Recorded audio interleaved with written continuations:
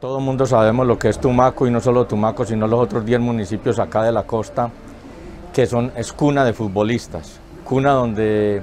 donde hemos, hemos sacado muchísimos futbolistas que nos han representado a nivel nacional, a nivel internacional, e incluso hemos tenido, por decir algo, deportistas que han ido a muchísimos mundiales y nos han ido a representar muy bien en el, en el ámbito internacional. Y no, la verdad que esto es un sueño donde, una región donde, donde hace tanta falta eh, oportunidad. Y, este es, y este, este es el momento histórico para nosotros darle la posibilidad y la oportunidad a todos estos jóvenes y a estos niños que vienen allá abajo, porque este es un tema donde la región está ávida, ávida de oportunidades en la parte deportiva, no solo en el fútbol, sino en la parte deportiva y yo siempre lo he dicho, nosotros aquí en el departamento de Nariño tenemos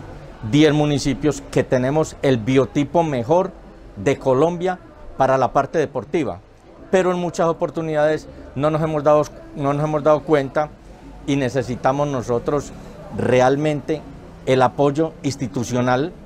de todas y cada una de los entes, de los entes territoriales, las alcaldías, la gobernación, el Estado como tal, porque esto es de la única manera que nosotros podemos quitarle a todos estos grupos armados al margen de la ley, todos estos niños, que esto es, o sea, aquí de la única manera que podemos pensar nosotros en paz en la región es cuando nosotros tenemos a los, niños, a los jóvenes y a los deportistas luchando por, por un sueño. Y esto es un sueño en el cual,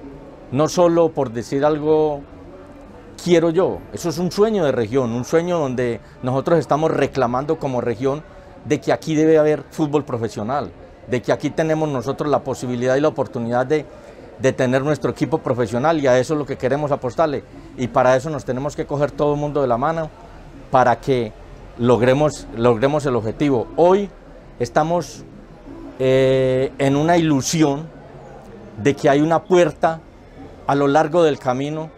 que hay un, hay un campeonato de la primera C y vamos a tener la posibilidad y la oportunidad de, poder participar y decirles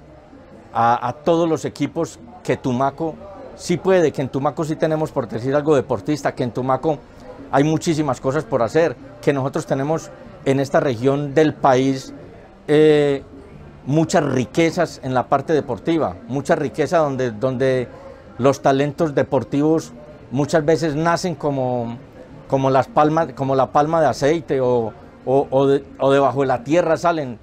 Yo, yo lo vengo diciendo y por ejemplo, afortunadamente hemos tenido la posibilidad y la oportunidad de tener, por ejemplo, grandes deportistas como Willington Ortiz, que es conocido a nivel nacional, internacional y mundial, que tenemos la Gambeta Estrada, que también eso es el, mejor fútbol del mundo, y, y Leider Preciado,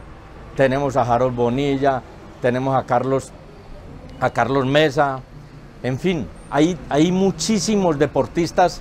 acá en, aquí en la región donde, donde nosotros pensamos de que nosotros podemos hacer con el deporte, quitándole a todos estos niños y jóvenes la posibilidad y la oportunidad de ir a los grupos armados.